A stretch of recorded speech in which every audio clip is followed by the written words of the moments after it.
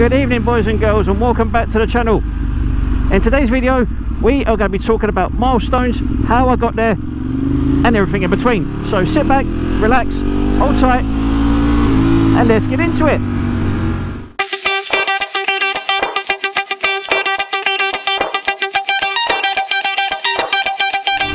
So, where are we right now?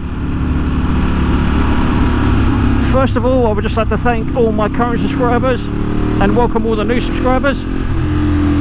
As always, if you like what you see and you want to see more, feel free to like, comment, subscribe, spread the word. I'm hoping to hit a thousand subscribers by Christmas. So for all you lovely people that are currently subscribers, let people know about my channel. And uh, get all your friends, family, loved ones, work colleagues, or anyone else you can get your hands on. That sounded slightly pervy, that didn't it? Or anyone else who you think may be interested in my channel and helping out a smaller, a smaller YouTube creator like myself. Feel free to drop them a link, get them to have a view, get a like, get a subscribe, get a comment, and anything in between. So, milestones. Now, I know I did a video a little while ago where I hit a milestone of a hundred odd subscribers, pardon me, but today has been a revelation. I have managed to gain 500 odd subscribers. I am thankful, I am grateful for everyone and anyone who has liked, commented, subscribed and shared my channel as uh, yeah, that's greatly appreciated. So that's the first thing. Secondly, how I got there just seriously just straight up hard work in the last two months I think I must have made about 20 videos and granted it does take a little while for uh, things to start happening. But when they do boy do they happen. I mean obviously as you can see I'm on the bike so I can't actually give you any uh, analytics or numbers. But all I can say is is that I'm severely grateful. I'm grateful I am proud I am happy that I've reached where I have. And uh, I'm hoping to push to a thousand subscribers or even past that if I can between now and Christmas if I can great. If I can't at least I've tried.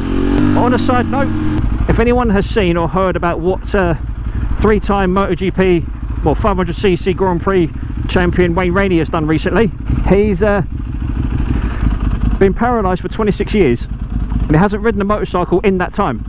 Well obviously you know how can you? Because you're paralyzed but I digress. I was absolutely astonished when I saw this story. Um, he's doing a sort of like promo event with Yamaha um, called the Sound of Engines I think it's called. They asked him if they if he wanted to race there. And uh, I, I, think it's a company in Japan or somewhere like that have uh, somehow managed to find a way of getting him back on two wheels. Now admittedly I have watched the video, but for the life of me, I can't think of the name of the brands or anything else, other than the fact that it's a uh, Yamaha team based in the US that he's working with, or should I say works with, to get uh, this particular R1 up to spec so he can ride it. Now it's a 2019 Yamaha R1, obviously specced out in uh, race trim and race fairings and uh, race tyres and all the rest of it. It's by no means a out and out you know world superbike spec bike or even an AMA spec bike but it's still got uh, more than enough power to do some damage and um, there's a quote that uh, Wayne Rainey actually said or a comment that he made sorry about the steering damper.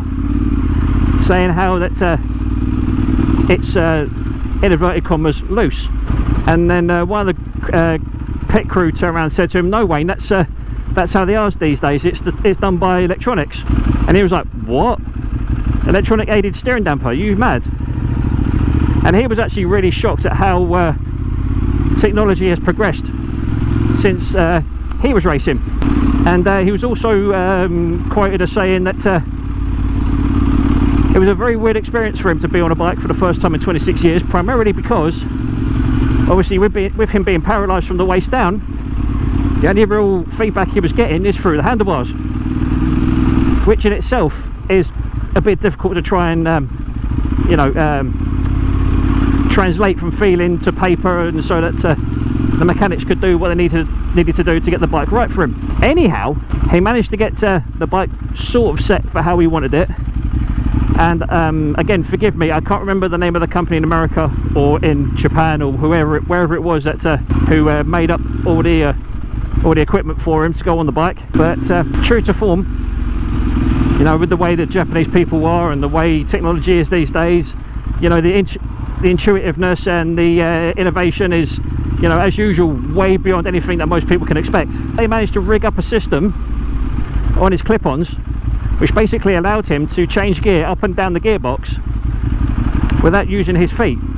Without using his left foot should I say. I have no idea how they've done it. I don't have a clue where the technology's come from. Obviously I've seen it before but I'm not uh, I don't know who makes it or whatever so you know forgive me for that but I kid you not Wayne Rainey is a fucking living legend I mean yeah okay He's been in a wheelchair for 26 years. Yeah, okay. When he was racing, they were racing 500cc two strokes or 500cc four strokes, whatever it fucking was. But boy, the smile on that guy's face. And when you watch the video, you'll see what I mean. When I ride my bike, I have exactly the same feeling. You know, I have exactly the same sensation. I always get off my bike with a smile on my face. To see that guy's face it was an absolute picture. And when I watched it I actually got uh, um, goosebumps. I got an absolute chill down my spine when I watched that video. You know I've watched it twice and every time it gives me the same feeling. You know I'm so happy for the guy to be back on a bike. I'm so happy that the technology is available to allow disabled riders to get back out on the road it's, it's just amazing what technology can do for people these days it really is I mean, I know I say there's things I want to do to this bike, like I want to get lever guards, I want to get a quick shifter, I want to get this, I want to get that.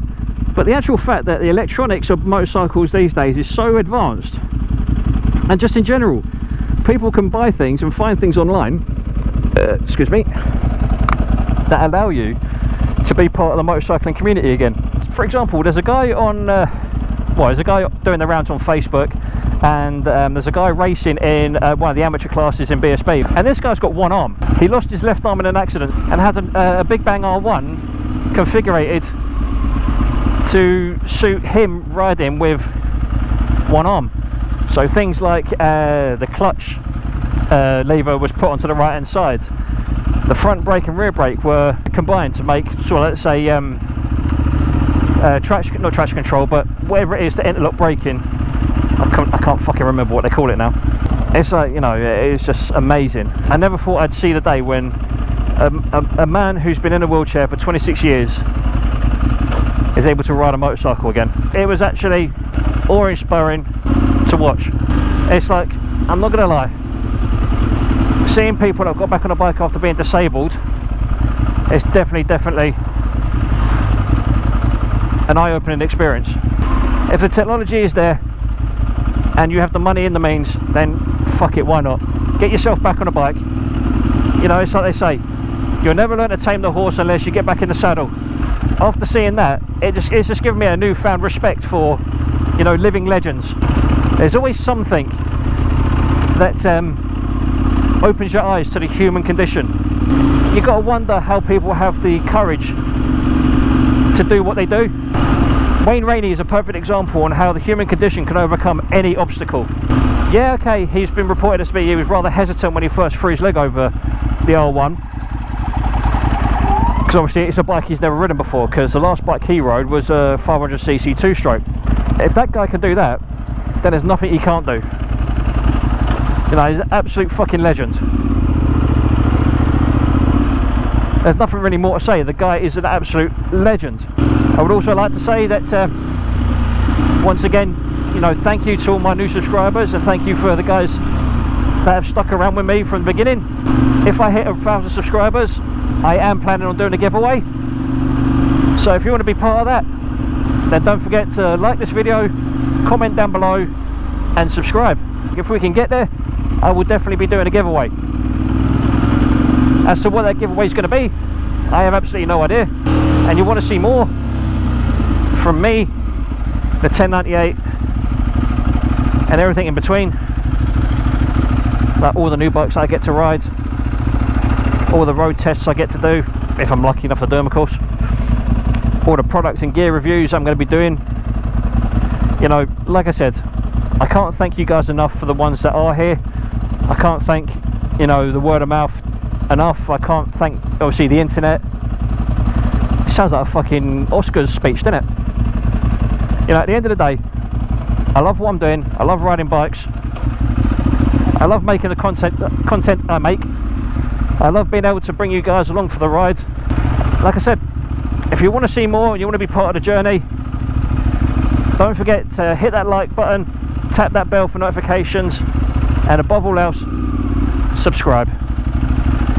Because making content is what I'm about. Ducati content, motorcycle gear content, you know, equipment, uh, workshop tools, anything and everything that I can get my hands on to make good content for you guys, then I want to be all over it. So if you want to see that and you want to see more, apologies for the constant repeating myself, but I can't help it. I just wanted to really, you know, give you guys a heads up on the milestone that I've reached. Being on YouTube is like having a family away from family, if that makes any sense. And yeah, I just wanted to, you know, show my appreciation. I just wanted to say thank you.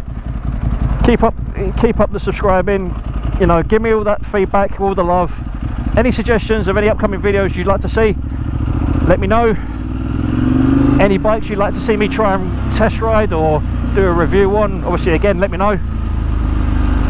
But uh, for now this wraps up another daily vlog for you lovely people. So from me Rolling Thunder once again thank you for everyone's support. Thank you for the subscribers. Keep spreading the word. Let's get to that thousand subscriber mark if not more. And as always look after each other. Be healthy be safe. Have fun on your bikes. Be safe on the roads. And as always adios are you ready?